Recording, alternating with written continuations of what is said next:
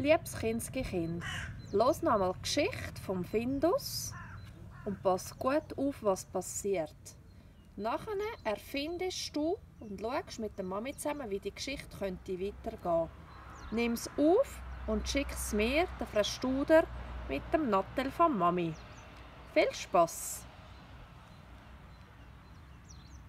Findus und der Hahn im Korb.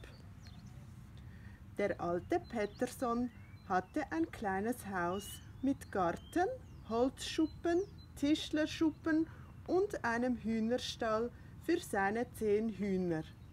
Und er hatte einen Kater, Findus. Manchmal, wenn er nichts anderes zu tun hatte, ärgerte Findus die Hühner. Und dann jagten sie einander. Die Hühner waren Findus zweitbeste Freunde. Sein erstbester Freund war Pettersson. Eines Tages kam Pettersson mit einem Pappkarton nach Hause. Er ging in den Hühnerhof und machte die Tür hinter sich zu. Du bleibst besser draußen, Findus. Pettersson öffnete den Karton und etwas Großes, Buntes kam herausgeflattert. Hilfe, eine Eule! Schrie Findus. Das ist doch ein Hahn, Dummchen, sagte Pettersson. Er soll jetzt bei uns wohnen. Der Hahn landete in einer Ecke des Hühnerhofes und sah sich misstrauisch um. Wirklich? Wozu brauchen wir denn noch? Haben wir nicht schon genug Hühner? fragte Findus. Er hat mir leid getan, Gustavsson wollte Suppe aus ihm kochen und da habe ich ihn mitgenommen, sagte Pettersson. Pass mal auf, wie die Hühner sich freuen. Jetzt kamen alle Hühner angerannt, um zu sehen, was los war. Guckt mal, wir haben einen Hahn gekriegt. Wie schneidig er ist, gackerten sie. Das wurde aber auch wirklich Zeit, Pettersson, Genau so einer hat uns noch gefehlt. Findus starrte die Hühner grimmig an. Was hat euch gefehlt? Wer braucht denn einen Hahn? Ich habe noch nie in meinem Leben auch nur eine Sekunde lang einen Hahn gebraucht. Nee, du nicht, sagte Pettersson. Aber diese trüdeligen Tanten brauchen jemand, der für Ordnung sorgt. Also hör mal, Alter, sagte das Huhn Brillan. Wenn hier einer trüdelig ist, dann du. Darum geht es überhaupt nicht. In diesem Augenblick krähte der Hahn zum ersten Mal. Ein kraftvolles, herrliches Krähen fanden die Hühner und Pettersson auch.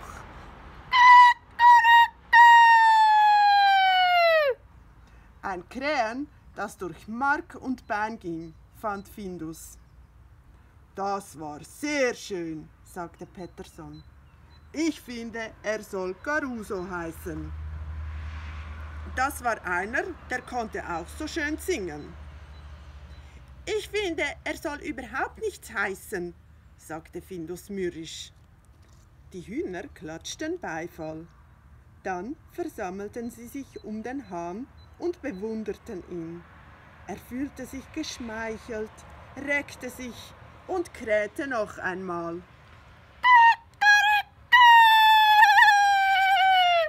Nun guck bloß, wie hübsch er ist und wie er sich vor den Hühnern reckt, sagte Pettersson stolz. Wie ein Hahn. Po, hübsch der, fauchte Findus. Ich finde, er sieht dämlich aus. Guck mal, wie affig der geht. Hoffentlich regt er sich so, dass er in der Mitte durchbricht. Der Hahn krähte wieder. Pettersson, verbiete ihm das, jammerte Findus. Der darf nicht dauernd so schreien. Soll das jetzt immer so sein? Du wirst dich schon dran gewöhnen, sagte Pettersson. Ich finde, es klingt ganz nett, wenn er hin und wieder ein bisschen kräht. Sonst ist es hier so still. Sauer und wütend sah Findus zu, wie alle Hühner hinter dem Hahn heranscharwenzelten. Er pickte in der Erde und zeigte ihnen, wo es zu fressen gab. Als ob sie das nicht selbst sehen könnten. Manchmal pickte er in der Erde, obwohl da gar nichts zu fressen war. Aber die Hühner freuten sich trotzdem. Siehst du, wie er sie reinlegt? zischte Findus Pettersson zu. Da ist ja gar nichts zu fressen. So sind sie, die Hähne. Auf die kann man sich nicht verlassen. Wie willst du wissen, wie Hähne sind? Du hast doch noch nie einen Hahn getroffen. Man weiß doch, wie die sind, murmelte Findus. Einige Tage vergingen und nichts machte mehr Spaß, seit der Hahn gekommen war fand Findus. Die Hühner hatten keine Lust mehr mit ihm zu spielen, obwohl er sich immer wieder lustige Spiele für sie ausdachte. Wie zum Beispiel, als er Fia beim Fliegen helfen wollte. Er hatte ein Brett wie eine Wippe über einen Holzkolben gelegt und ein halbes Butterbrot auf den Teil des Brettes, der die Erde berührte. Dann kletterte er auf den Ast, der darüber ragte. Und als Fia sich auf das Brett stellte, um das Butterbrot aufzuessen, ließ Findus sich auf das andere Ende des Brettes fallen, so dass Fia mehrere Meter in die Luft flog. Findus fand das sehr witzig. So hoch war sie noch nie geflogen. Sie hätte sich doch freuen müssen. Aber sie freute sich kein bisschen, und daran war bestimmt der blöde Hahn schuld. Wenn er nicht angestürmt gekommen wäre und Findus ausgeschimpft und ihn weggejagt hätte, dann hätte Fia sich bestimmt schlapp gelacht, dachte Findus. So ging das die ganze Zeit. Sobald Findus dem Hahn zu nahe kam, jagte der ihn weg.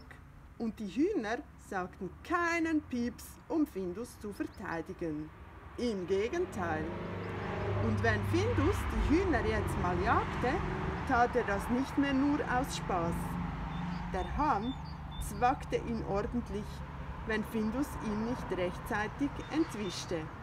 Das war überhaupt kein Spaß mehr.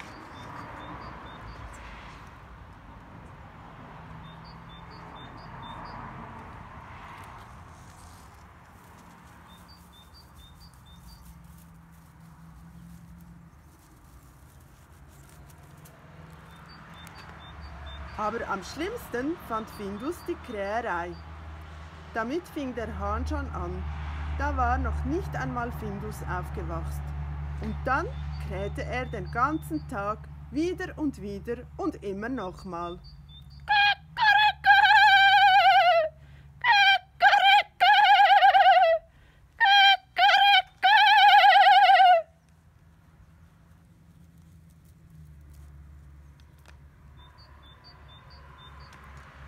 Nach drei Tagen Kräherei dachte Findus, er würde verrückt werden. Zuerst versuchte er zu schreien, sobald der Hahn schrie, aber davon wurde es auch nicht ruhiger. Da legte Findus alle Topfdeckel, die er finden konnte, in eine Blechwanne und zog sie auf den Hof. Als der Hahn wieder zu krähen anfing, fing Findus noch lauter an zu schreien und dazu rasselte er mit, Top, mit den Topfdeckeln in der Wanne. Es gab einen furchtbaren Lärm, aber es geschah nichts weiter, als dass alle Hühner und Pettersson angerannt, angerannt kamen und sagten, Findus soll still sein. Du hast doch gesagt, früher war es hier zu still, schrie, schrie Findus. Das ist ungerecht. Er darf so viel schreien, wie er will, aber ich darf nicht einmal singen. Der Hahn krähte. Still! Still! Still! schrie Findus. Sag ihm, dass er aufhören soll, Pettersson. Sag ihm das, sonst zieh ich aus. Und dann lief er ins Haus und hinauf auf den Dachboden und kroch in eine geheime Kiste und hielt sich die Ohren zu. Er war so traurig, dass er nicht wusste, was er tun sollte. Und der Hahn krähte weiter.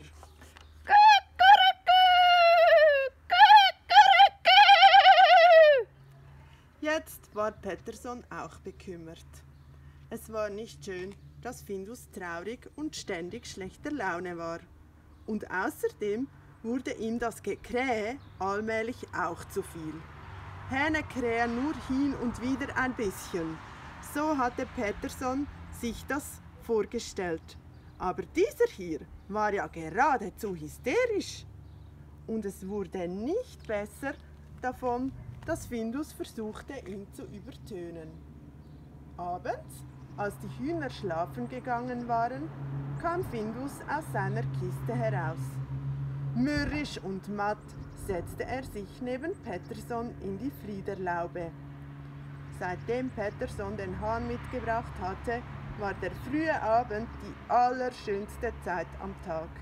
Dann waren Findus und Pettersson allein. Sie saßen da und genossen die Stille, nur die Schwalben zischten über sie hinweg. Hoffentlich hält er jetzt den Schnabel, knurrte Findus.